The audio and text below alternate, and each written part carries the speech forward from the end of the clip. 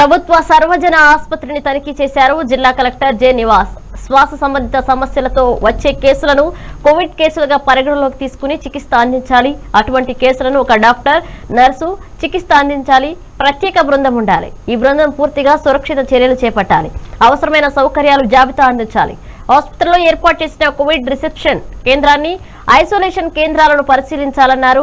ప్రతి ఆసుపత్రికి మూడు షిఫ్ట్లకు అవసరమైన మాస్కులు పీపీఐ కిట్ అందజేయాలని కేంద్ర డ్రగ్ స్టోర్ సిబ్బందికి ఆదేశించారు. డాక్టర్లు నర్సులు సిబ్బందితో సమావేశం నిర్వహించి విధి విధానాలు తెలియజేయాలని ప్రభుత్వ సర్వజన ఆసుపత్రి superintendent K. Krishnamurthy RMO R Aravind ప్రత్యేక అధికారి ఎం. గణపతిరావు తదితరులు పాల్గొన్నారు.